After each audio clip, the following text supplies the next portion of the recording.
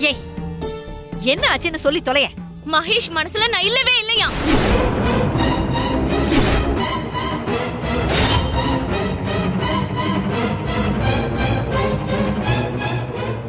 அவர் மனசு ஃபுல்லா அந்த டிராமா கறி தான் இருக்காளாம்.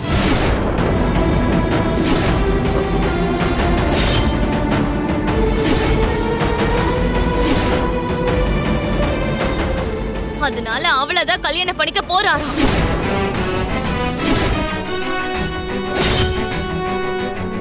அப்பவே எல்லாரும் சொன்னமேக்கா. நீ தான் கேட்கவே இல்ல. இப்ப என்னாச்சுன்னு பாத்தியா? அந்த டிராமாக்காரி அவ வந்த வேலைய கரெக்டா பாத்துட்டா. எங்க இருக்கா அவ? ஏ அஞ்சலி! அஞ்சலி! அடியே அஞ்சலி! மேடம். ஏண்டி பிளான் பண்ணி நீ எதுக்காக வந்தியோ அத கரெக்டா செஞ்சுட்ட போல இருக்கு. நான் என்ன மேடம் பண்ண? இப்போ ஒண்ணும் தெரியாத மாதிரி கேக்குறியா? இப்போ என்ன செய்ய போறேன்னு மட்டும் பாரு உன்னை.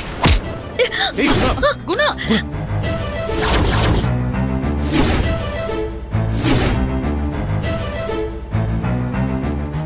ஆண்டி என்னாச்சு? இப்ப எதுக்கு அஞ்சலி கீழே தள்ளி விட்டீங்க? நீங்க கேக்குற கேள்விக்கெல்லாம் என்னால பதில் சொல்லிட்டு இருக்க முடியாது. நான் கேக்குற கேள்விக்கு நீங்க முதல்ல பதில் சொல்லுங்க. கவியை கூட்டிக்கிட்டு போய் கவிகிட்ட நீங்க என்ன சொன்னீங்க?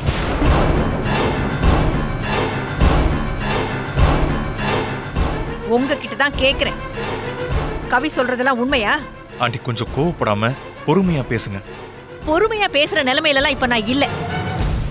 கவி கிட்ட நீங்க இந்த டிராமாக்காரியை தான் கல்யாணம் பண்ணிக்க போறேன்னு சொன்னீங்களா? ஆண்டி தயவு செஞ்சு நான் சொல்றது கொஞ்சம் பொறுமையா கேளுங்க. நான் கேட்டதுக்கு நீங்க முதல்ல பதில் சொல்லுங்க. கவி சொன்னது உண்மையா? உண்மைதான் ஆண்டி.